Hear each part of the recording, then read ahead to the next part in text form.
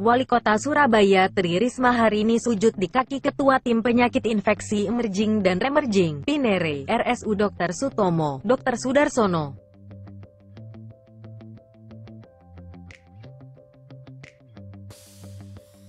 Aksi itu terjadi saat audiensi bersama Ikatan Dokter Indonesia, IDE, Jatim dan Surabaya. Bahkan, Risma sampai sujud dua kali sambil menangis.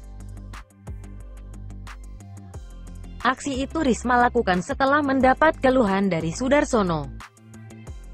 Dalam audiensi itu Sudarsono mengatakan, pasien COVID-19 di RSU Dr. Sutomo sudah overload.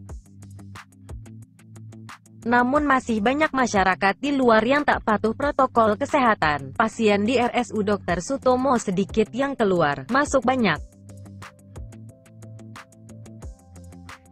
Karena overload harus ditolak. Saat pasien nangis ditolak saya nangis di poli. Apalagi saat dua teman saya gugur, terpapar COVID-19 masyarakat seperti ini, masih berkerumun.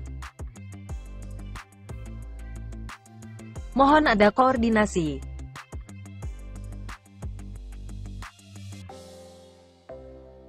Karena kita nggak bisa memulangkan jika tidak negatif dua kali, kata Sudarsono. Senin, tanggal 29 Juni tahun 2020, ia juga mengaku ingin menemui Kepala Dinas Kesehatan, Dinkes, Surabaya. Dia ingin para staf Dinkes merasakan beratnya menggunakan APD seperti yang dilakukan para tenaga medis.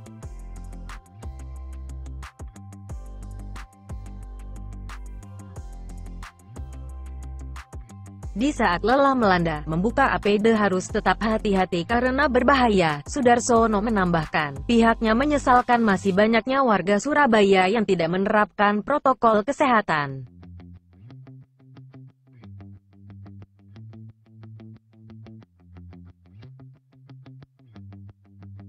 yang membuat virus corona terus menyebar. Saya ingin ketemu staf Bu Feni, Kadinkes bagaimana rasanya mengeluarkan itu. Saat kita lelah akan sangat membahayakan. Yang di hulu sudah sangat bagus. Di daerah itu saya pulang setengah sepuluh malam, masih ada warung kopi anak-anak muda. Jelasnya, saat ditanya mengenai Risma yang menangis hingga bersujud, Sudarsono menjawabnya dengan pujian terhadap sang wali kota. Menurutnya Risma merupakan wali kota yang sangat bertanggung jawab. Bagus kok. Bu Risma itu sangat-sangat istimewa. Justru itu kebaikan beliau sangat kelihatan di situ. Rasa tanggung jawab besar dan merasa bersalah ini suatu ibu wali kota yang luar biasa, kata Sudarsono usai audiensi. Saya sebetulnya juga merasa ya apa, tapi saya ngomong apa adanya. Karena saya turun langsung. Saya juga di poli.